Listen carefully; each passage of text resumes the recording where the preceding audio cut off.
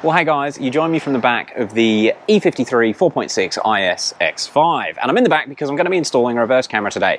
Now, I'm a bit of a reverse camera nerd. I really like the cool things that are coming out from, well, all the manufacturers with those 360 cams and the cool stuff that they do. In fact, I like them so much that I retrofitted a 360 cam to my old E53 back in 2017 or 2018, and I actually did a review on that on the channel, which I'll put a link to up in the corner, whichever corner it is. Uh, please go and check it out because that was a Chinese 360 degree panoramic camera that worked really well with the E53 and I did really really like it. And when we first got this car I'm like I'm gonna get another one. Um, however I've sort of and I hope you guys don't mind, but because I've had that camera before, I wanted to try something different, and also this is going to be much easier to install. Um, what I've ended up finding whilst I'm browsing all the eBay and Amazon options, I found this camera from ATOTO, and I'm probably not pronouncing it right. They're the only company I've seen doing it, and what it does, it generates a bird's eye view of the camera, sorry, a bird's eye view of the car somehow and then makes that image appear around the vehicle, all with only using one rear camera. Now, I'll try and overlay an image of what I've seen, or at least some footage of what I've seen, uh, because it's almost a little bit too good to be true. Because if this works, this is going to be the easiest way you could ever install a panoramic camera system. Um, now let me just give you a quick rundown on what you get in the box. These are, I can't even remember what I paid for. I think it was around 200 Aussie. It was just before Christmas I ordered it, you know, when you're drinking and clicking buy it now on way too many things. Um, but it was, it, it was sub $200, so it was pretty cheap. It was much cheaper than the old camera that I had, and you get everything in this box. So you get the brain of the system. Now on my old 360 camera system, it had a similar size metal box, and it was actually like a whole like an Android processor going on in there. Like it's a full-on computer in this box. And having a quick look through the instruction manual, which is beefy, it appears to be the same. So it has got quite a lot of menus and user settings and calibration options, which we will have a play with later on in the video.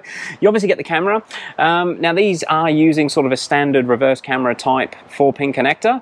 Uh, however, I do know, well, from reading the book just then, this system will only work with that specific camera, and that's because it needs to know exactly how much warp it gets on the lens to project the image around the car that it's going to create. Uh, you get two wiring, or two main wiring harnesses. Uh, they supply this one, which is like a typical Chinese Android plug. Uh, and it's got a full harness, which obviously we don't need. I don't know why they give us that, but this is the main harness for the unit, so that will plug into the box. We have four connectors for, actually, just so you know, being a bit blasé, but it does come with this plug here. So actually, I'll cut it off this harness, wire that into the car, and then this will actually be plug and play into the vehicle.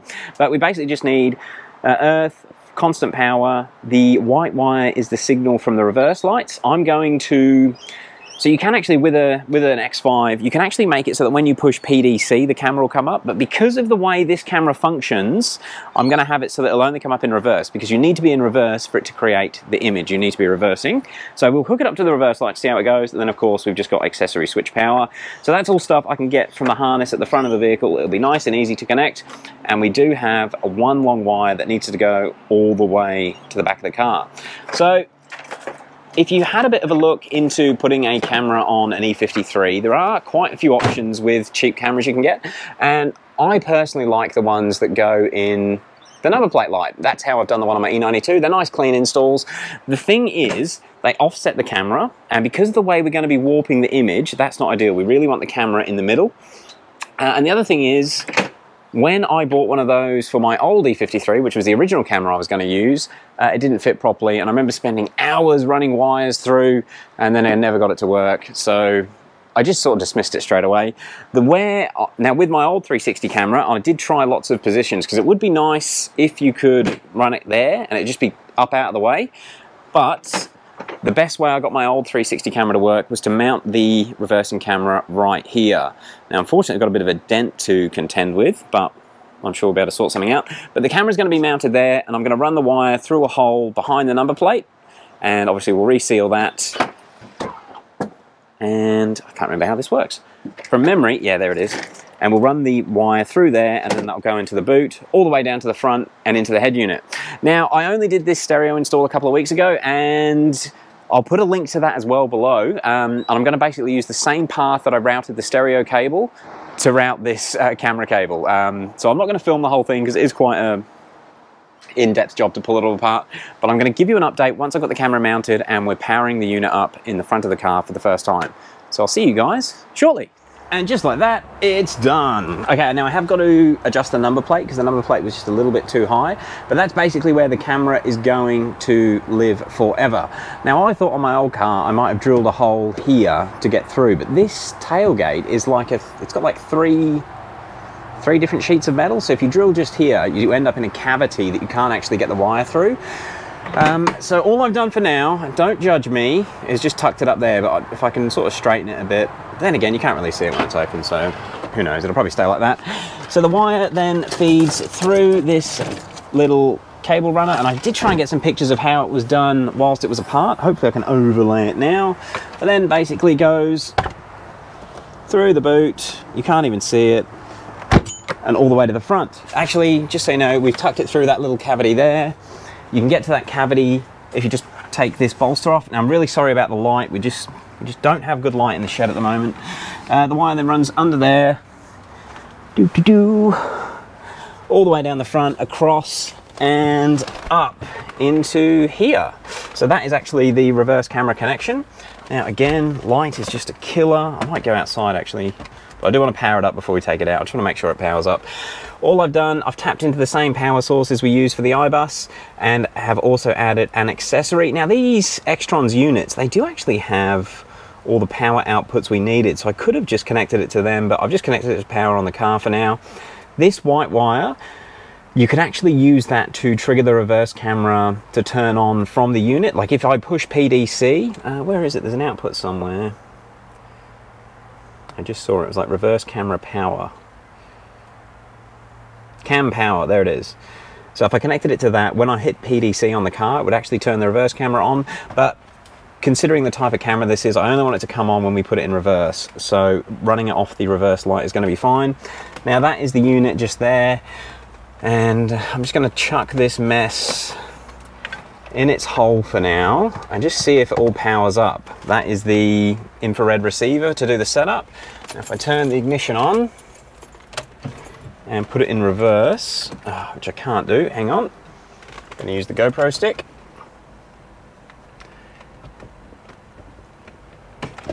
There it is. And there it is. Interesting. Uh, now I did, I was playing with this the other day. Oh, come back. That is, I need to set that up. That's it. Um, that's something that the iBus app does. I'm just going to turn PDC off. Oh, the PDC screen's still there. Uh, but that is the camera. That's interesting. So it looks like we have... Oh, I'm going to have to get this all set up. But essentially the camera is working. All right, what I might do is we'll head outside just so we got some better light and you might be able to actually see what's going on and then we'll work out what we've got to do to actually get it set up because there is that big mat for the calibration.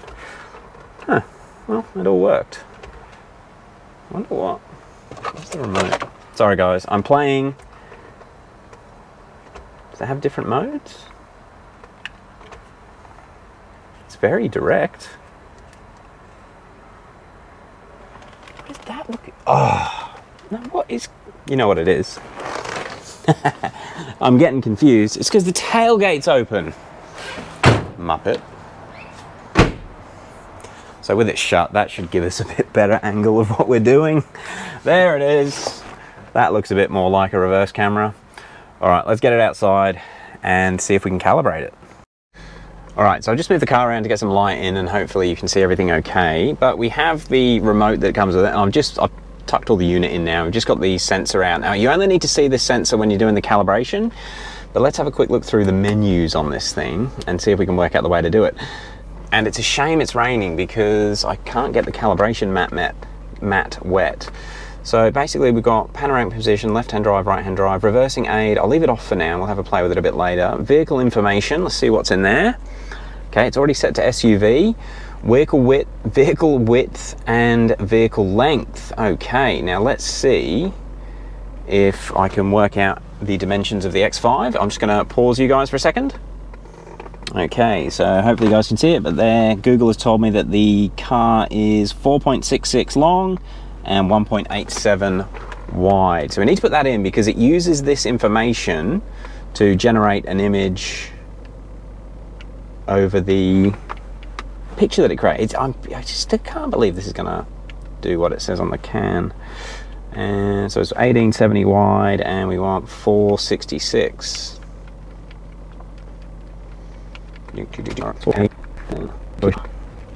Oh. Okay, so that's the car width set. Width set. Video cropping. What's that?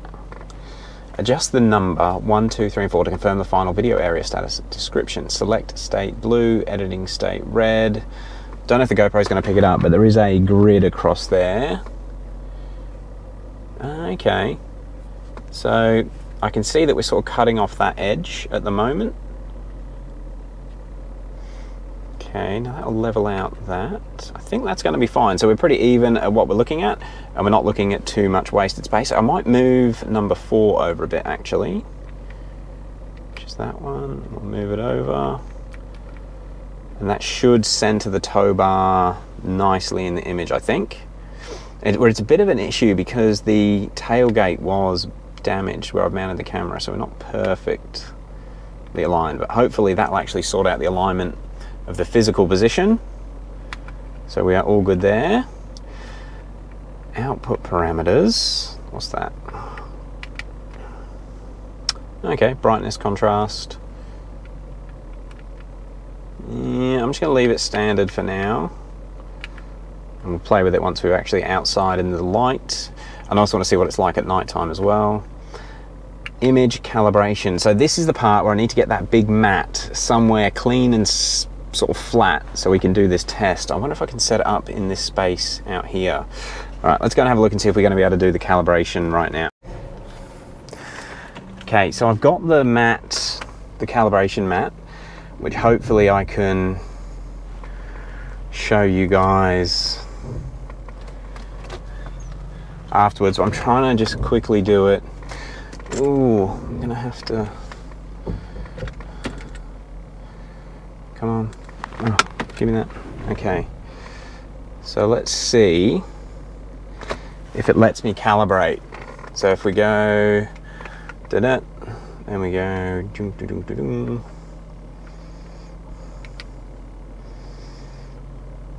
calibration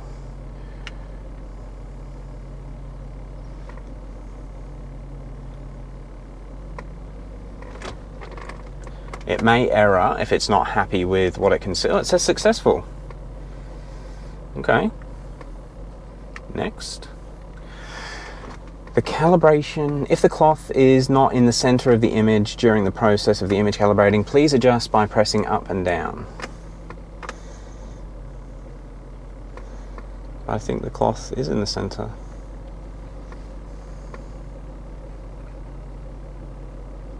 I think we're good. I'm just going to save it. All right, so let's see. We just got to make sure we don't knock the mirror. Oh, she's so tight. I can't believe we managed to calibrate it there. So what it's supposed to do now that it's calibrated is it's supposed to oh, go home. Okay, so you see we have this image here. Now if I reverse it should paint that image around the car. No, it's working. We're going, we're even going around a corner. That's crazy. And there we have it. We have a 360 degree image. And I've gone around a corner. Oh, we need to go and try somewhere else. All right, let me go and get a better Okay, so what I'm going to do, I'm going to try and imitate like a bit of a reverse park and we'll just see what it does.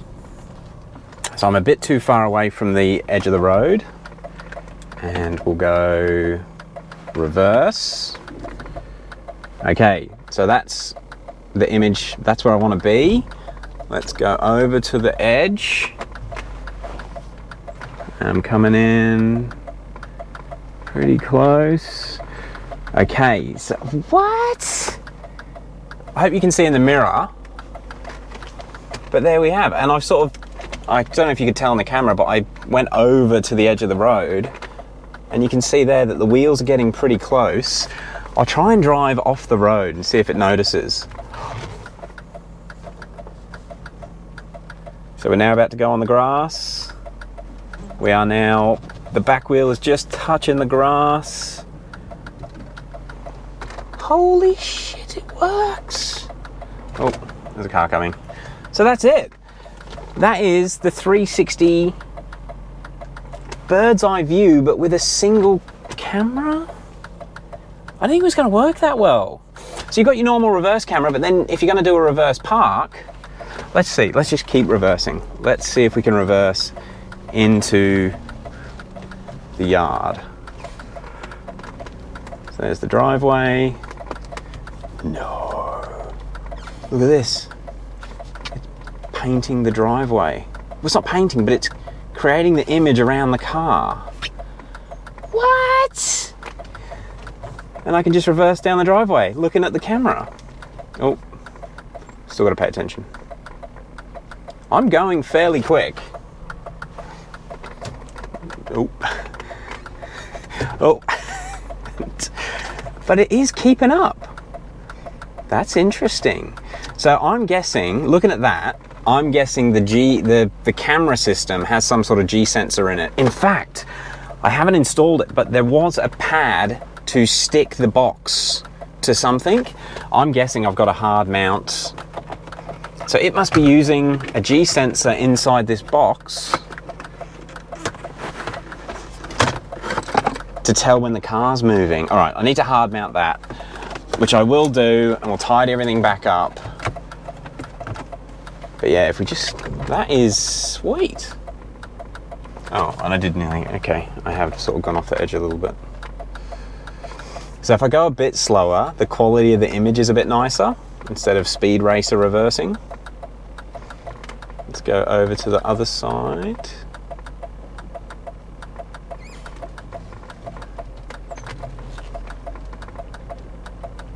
Now we're on the other side. It's working. For parking up against a curb, that's gonna be perfect.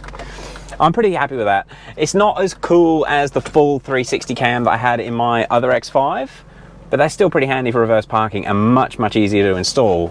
And that is way better. That is way, way better than just a normal reverse camera. Let's see what it does with the containers that are just coming up.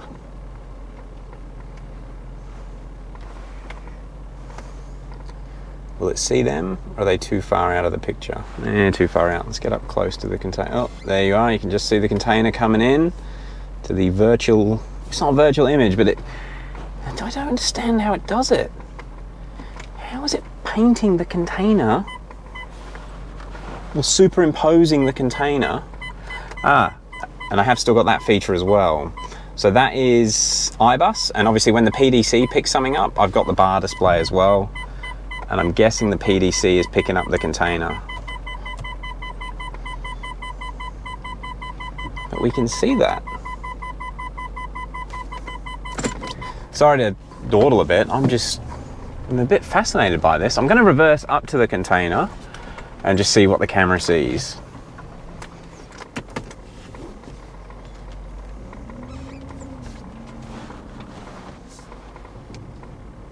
So, I mean, the grass is probably a bit hard for it to read and make an image.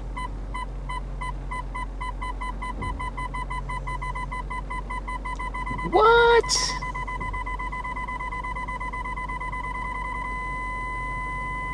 PDC's not happy. Oh, we still haven't touched it yet. That's crazy. You can see that the car Oh, that might need some adjustment because I feel like we're really close. Let's see how close we are.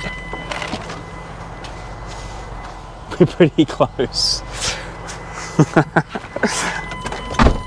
PDC is going nuts. Ah, okay. So it must have to create the image every time you park. But that's pretty cool. Oh, I'm pretty happy with that. That's a cool little gadget for not too much money. Um, yeah, let me know if you've seen anything like this. I saw a video of it on YouTube, um, which I probably put at the start of this video, and I was pretty stoked with it then. All right, so we have Dave. He's about to try it for his first time. I did show him briefly, but see if you find it easier to drive with. Okay. You're reversing fast. Is it going to see the driveway? It is, yeah. There she is. How on earth? How? Oh man, that is weird. And then it keeps the picture there. So I can sort of. See, it doesn't have steering input, so it must just be all, using all G sensors to position the car. Yeah, I'm bizarre. How, I'm surprised at how accurate the front wheels are. Oh, I did have to put the dimensions of the vehicle in. Ah. See, so I'm getting close over here. You're going to try and, like, emulate parking. Parallel it. See, so the front's coming round. But obviously, this camera's nowhere near the front. No, the camera is obviously there's only one camera. So the front wheel can't be that accurate. That's bizarre. Do you want to see? Use the camera, see how close it is.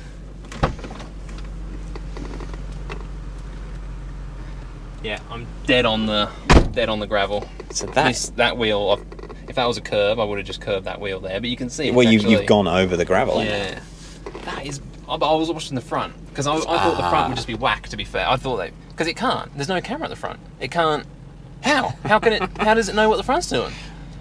It really, if that was a instead of sort of a silhouette, if that was a proper picture of the car, Yep. you would feel like you've got a proper 360 Bird's eye cam. camera there. That is crazy. Impressed? I can't work it out. That is really, and That's how I felt when I was in it before. I was like, this. How is it doing that? That's mental. It's pretty quick too. Like I get I get the back bit, but as it stitches the picture together, it's still there's not four cameras on the car. Oh, well, that's so much easier to install. Yeah, oh, a million times better. You, I can so I can literally just follow that line and keep the front. In line. That is, and then you can see on this camera, there's no way you'd be able to do that on that back camera. That's No, you get no perception with the a normal reverse cam. They're just sort of good to tell if you're going to back into a pole or something. yeah, if something is directly behind you. Whereas this thing, Now you're going off into the. yeah, I've gone wide a bit. How how far is that? With stick that out just to show the guys how far over you're, you're hanging. Because it is a silhouette. You can actually see. see it's come through the car a bit. Yeah, that'll be accurate. I'm completely on the bigger rocks. I'm glad the calibration's gone well. All right, we're going to keep playing with this. Uh, I need to mount the, the module properly, but uh, we might do another full review on this maybe after a week or two of driving with it and just give some more real, real life examples of it. But man, that's pretty easy. Finish the install, hide this stuff. And that should be ma- that should make it a lot easier now also to load up the trailer by yourself too. Absolutely. All right, guys. I'll see you in a second. All right, so I've got to remount the box and sort out the number plate, but I'm about ready to end this video off. I just want to do one last test driving the car into the shed and just see how it positions itself against the door or the doorway. Okay. I mean, it's tight. It's tight.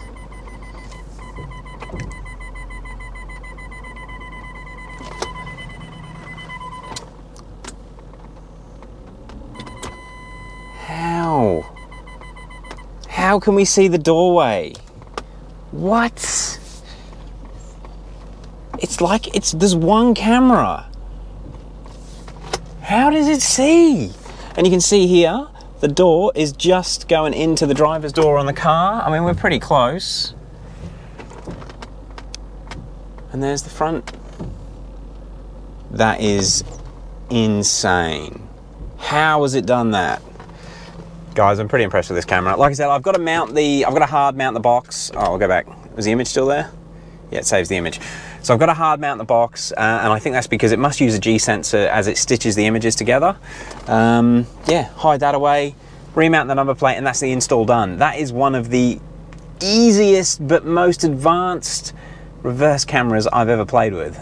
I'm pretty impressed with it. These are cheap, they're under 200 bucks and you get that functionality. That is sick. And again, with the iBus, you can't see it now, but you get the PDC display that comes up. That is a wicked little camera system. I'm pretty stoked with that. And hopefully, there'll be no excuses for curbing wheels. Not that you should anyway. Anyway, guys, I'll end off there. I hope this video wasn't too long. If you got any questions about this, if you're looking at buying one, you got any questions, let me know. It took about two to three weeks, I think, to get here. Um, and it is the ATOTO. Pretty happy with it. All right, guys, we'll catch you on the next one. Peace.